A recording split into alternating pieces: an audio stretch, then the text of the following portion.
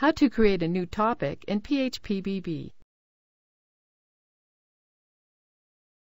This tutorial assumes you've already logged in to PHPBB.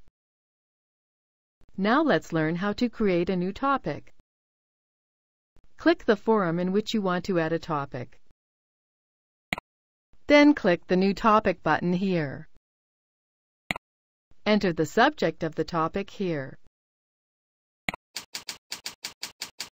Enter the body of the topic here.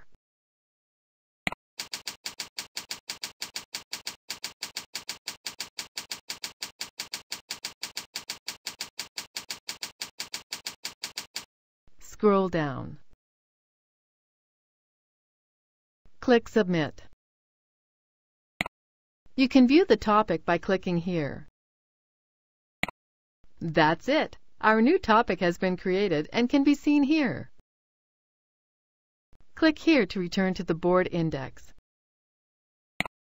This is the end of the tutorial. You now know how to create a new topic in PHPBB.